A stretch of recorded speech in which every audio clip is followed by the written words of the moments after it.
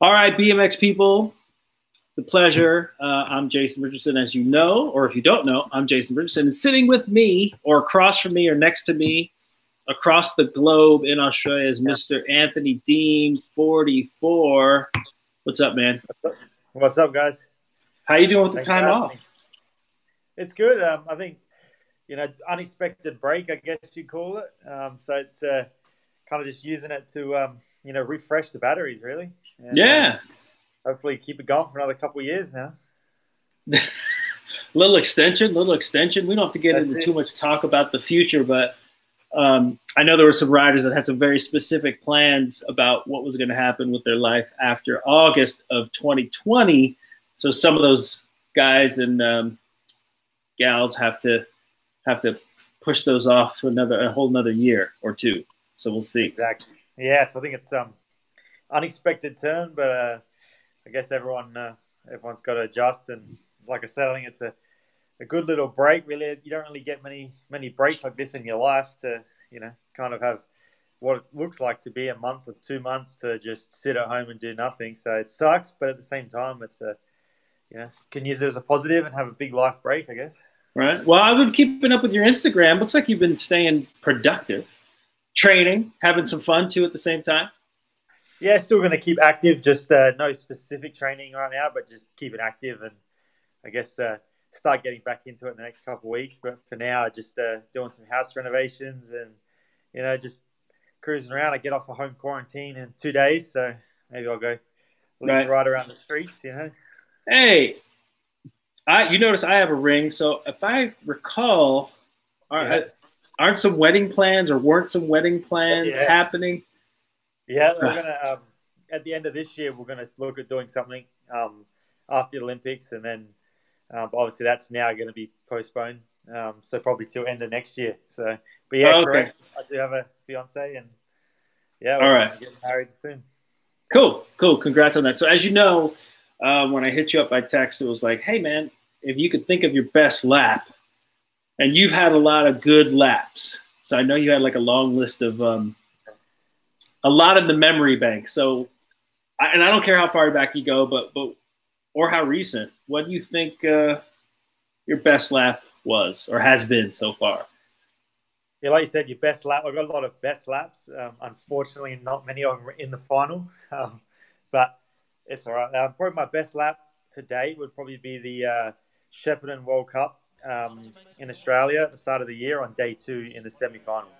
Um, so that one was probably yeah probably one of my favorite laps. So take us through that day. Take us through that lap. Yeah, um, being my first home World Cup I've ever had, um, so come a lot of pressure. Day one, I got second behind Nick, and mm-hmm. Um, I really I really felt like that day I could have won. Um, you know those those days don't come too often when you know you can legitimately yep. win. And, um, so day two, and I knew after day one I got second, so it was um, you know day two was the time to come out and uh, prove that I could win, and right. really uh, doubled the pressure from day one. Um, I think day one there was a lot of pressure, but at the same time it was no one knew how fast anyone was going, and uh, mm-hmm. I think after performing well on day one, it was like okay, day two is time to time to step it up again and, and really, you know, handle the pressure as best you can. So the semi final, um, I won all my heats and then, uh, yeah, come to the semi final. Yeah, but so so those are it's interesting how you say that because it's like you no one really knows how fast everyone else is going until you race then you have a day of racing and then you actually are like oh i'm I, I think I, I, know that feeling. It's like you run up for the semi or the main, you're like, part of you is like, I really think I could win. Like I, I could. this is yeah. totally happening. So, so, but what what was it about that semi on day two? Uh, I think it was like the, the quarterfinal I'd won, and um, you know the semi final came in, and it was like, all right. Um, what lane did you have? Uh, I think I had four in the semi. Okay, so coming straight out the middle straight out the middle. And uh, I think the semi-finals to me is probably one of the most pressure races um, out of anything because you know your quarterfinal is not as stacked, but your semi is is generally pretty full of the best guys. Um, mm-hmm. So it's very to me, it's very pressure in the semi-final, and, and if you can get through that, it either sets up a good final, or and you know you got the inside or whatever you, you can choose. So. Um, yeah, that that semi final was just it was a full full rack and all the good guys, and yeah, really just just crazy pressure, and I just uh, you know executed everything perfectly and got the fastest lap of the day and got lane one for the final. Right, right, right. Was there anything particular, any place uh, in particular? I, I did. I, I didn't actually get lane one. My bad. I got lane three. Okay, uh, but you were inside. Yeah. But no, on that semi though, was there any was there any particular thing on the track, um, like as because like I remember when I used to race a long time ago, there were certain tracks where it was just like maybe I, there was like the, the first jump I was connecting just right, or there was something about the, the way the hill was, or there's something about just, there were certain places on certain tracks where just like I knew I could just gobble it up. Like that was my time to shine. Was there anything in Shepparton that you felt like I don't know was just like calling your name?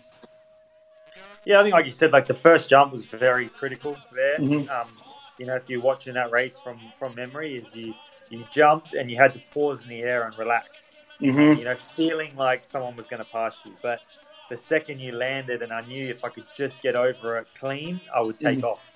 Um, and that was my plan all day. Is as soon as I could just get over that jump clean, I knew no one could touch me to the first turn. And in that semi-final, I just happened to get it absolutely perfect, and then I took off.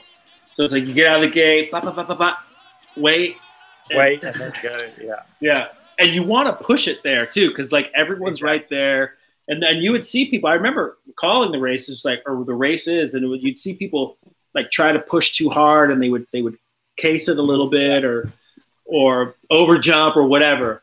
So just being patient yeah. in that spot. How about the rest of the track? Because I mean, it seemed like there was there was a lot of room to to make mistakes. Like you could over jump something or underdo something. It seemed like there was a lot of timing involved as far as the flow of that track was kind of like step on it, step off it, step on it, step off of it.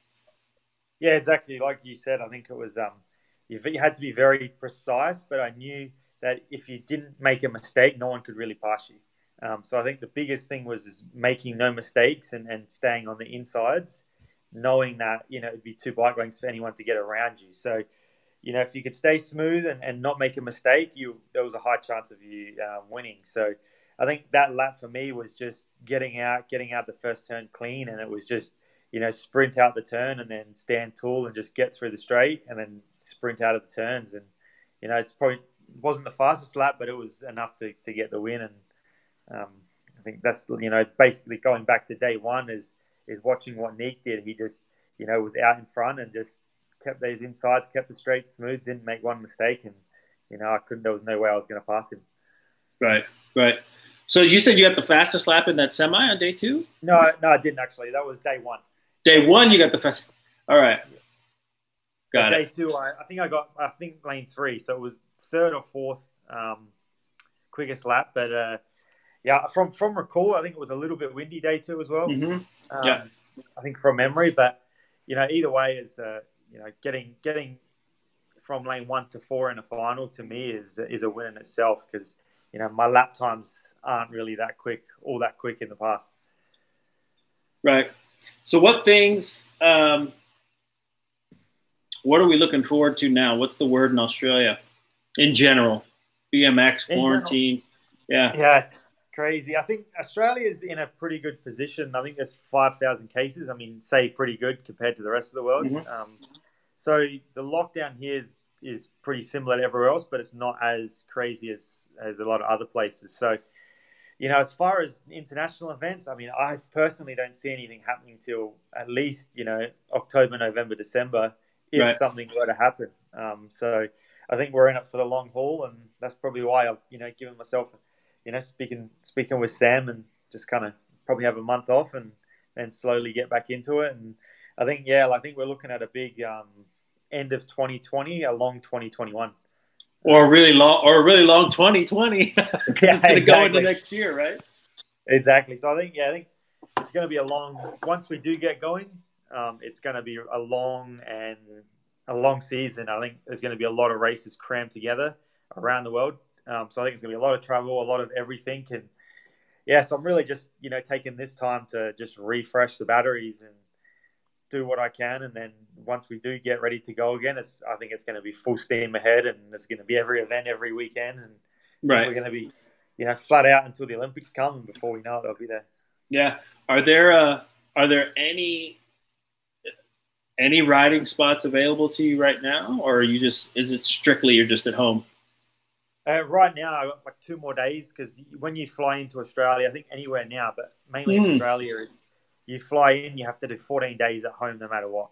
Oh, okay. You can't leave, you can't do nothing. So I think that's what they're doing to to to bring down the, the spread rate, which is great because mm-hmm. um, most of the cases come from overseas. So um, once that's over, the tracks there is some public tracks here, and I think you know once my quarantine's over, I'm going to start getting back into it, um, riding the tracks and doing everything. So, um, but there is tracks around here that I can go and ride. Like I said, we're not on full lockdown, so there is things still available to go and do. So, right, I'll probably head out to the track at the end of the week and start cruising around. Nice.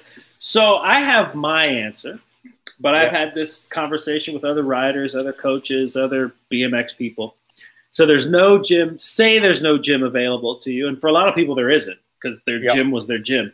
Yeah, you yeah. have zero weights. What do you think the best thing to do is to go fast?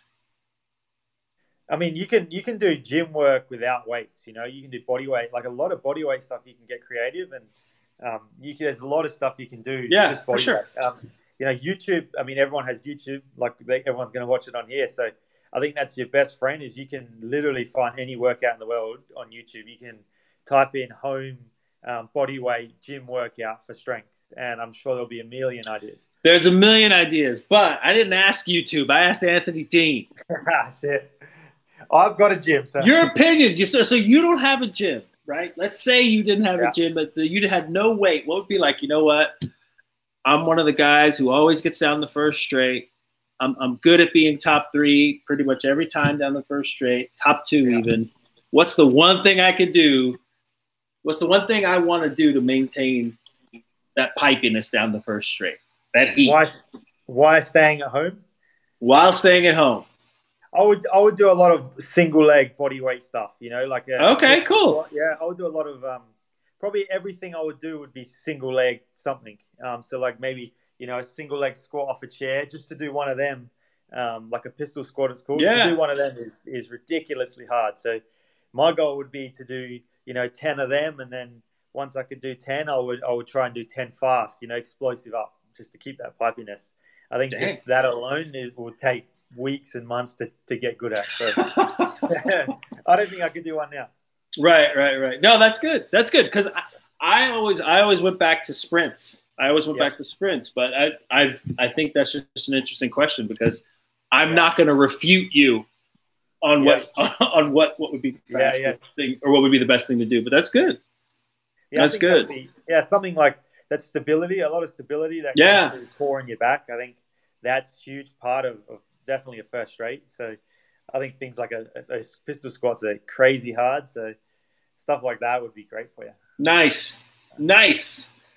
Well, hey man, I do appreciate you taking your time to join us. Um, this will be a BMX Live TV production, so you're a star on the on the ch- on the show yeah. when you're racing. But it's so crazy. It's like no helmet, no goggles. Like you, it's. Yeah. I'm sure people are gonna be like, you know, a lot of people yeah, don't even know what I look like because I'm behind things, and then you, it's like you normally have the stormtrooper kit on, so yeah, so it's pretty wild, pretty well. Looking forward, looking forward to see them all.